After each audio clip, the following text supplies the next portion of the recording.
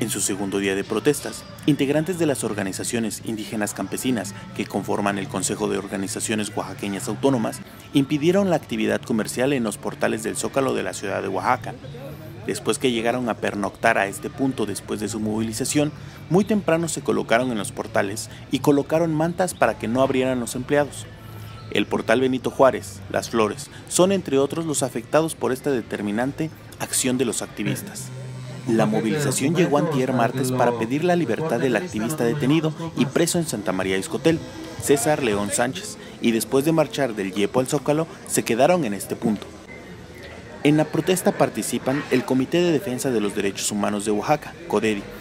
la Unión Nacional de Trabajadores Agrícolas, UTA, y la Unión Campesina Indígena de Oaxaca Emiliano Zapata, UCIOES, quienes llegaron desde diversas comunidades y piden atención del gobernador Gabino Cue Monteagudo.